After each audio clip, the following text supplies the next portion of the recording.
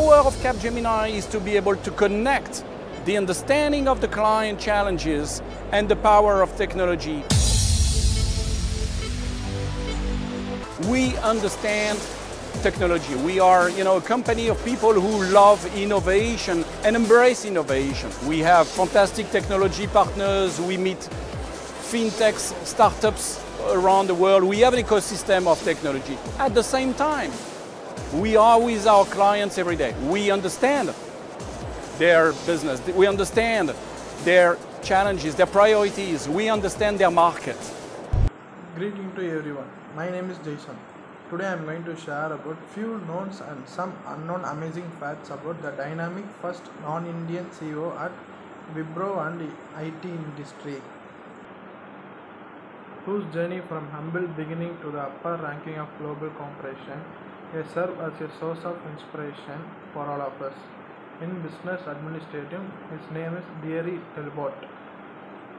Delaporte is an economic and financial graduate from Sciences Po Paris and he started his career as an external auditor in Arthur Andersen Company. Till 2010, he held the Chief Financial Officer for portfolio for various geographies such as Asia Pacific and North America and later he elevated to the COO and Head of Sales Application Service for two years till December 12.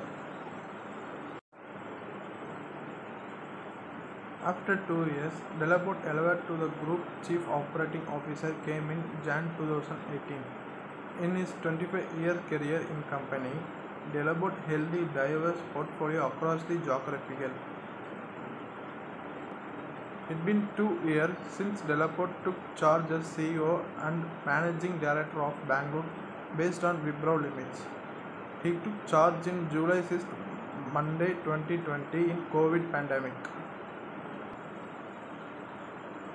Thierry Delaporte is a French person, broke the age limited barrier and became CEO of Wipro in his 56 year old in India. Delaporte is the highest paid CEO in India, occupying the corner of his Indian giant Wipro. As I told you all early, he joined in July 2020 as the first wave of the pandemic spread through India, forcing government to enforce strict grab on mobility. Thierry developed stories underscore the power of dedication and perseverance. Starting as a young professional, he embarked on a journey that led him to, to become a significant figure in a business landscape. Let us see the success theory of Delaporte. When you want to do something, do it, do it now, don't wait, do it now and listen to your guts. Don't miss the opportunity to do what you feel right now. This theory suits us even better. Just we need to move on. Life is very uncertain. Take good from bad situation and keep moving. Let us hope from better.